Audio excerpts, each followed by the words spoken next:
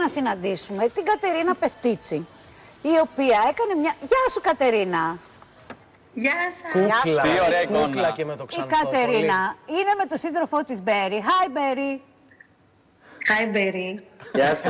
Α, το Hi Μπέρι μοιάζει γεια με σου, χαμπέρι. είπε. Α, μιλάει ελληνικά μόνο μέχρι το γεια σου φαντάζομαι ο Μπέρι. Λίγο, λίγο. Λίγο, λίγο. Λίγο, ωραία Μπέρι μου. Ξέρουμε ότι εσείς υπογράψατε ένα σύμφωνο συμβίωσης και το ανακοίνωσε στα social media Κατερίνα και είπες ότι είσαι πάρα πολύ περήφανη γιατί ο σύντροφός σου είναι Ένα queer άτομο. άτομο. ένα queer άτομο. Μμμ. Θες να μου Ναι, εξηγήσεις θα- για να καταλάβουν και οι τηλεθεατές μας τι σημαίνει queer άτομο; Queer άτομο είναι ένα άτομο το οποίο ε, δεν θέλει τις ταμπέλες, αν και, και το queer είναι μια ταμπέλα. Ακριβώς. Αλλά κάπως πρέπει η κοινωνία να τους εντάξει τους ανθρώπους με, σε, σε, σε ένα σύνολο, οπότε τους δίνουν αυτή την ταμπέλα.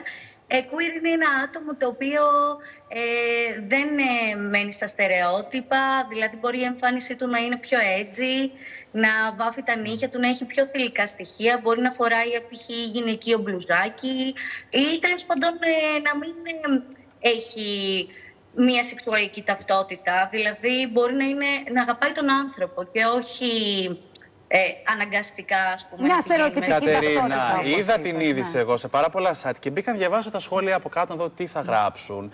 Και είδα πολλά επικριτικά σχόλια. Ότι τι μας το δείχνει τώρα και βάφει τα νύχια του και είναι περήφανη γι' αυτό και πώς το παρουσιάζει. Πώς τα βλέπεις εσύ αυτά; Εγώ είμαι πολύ χαρούμενη που έχω αυτό το σύντροφο. Ε, που με κάνει χαρούμενη. Τώρα το τι κάνεις στη ζωή του αφορά νομίζω μόνο εμένα που εγώ τον αποδέχομαι 100%.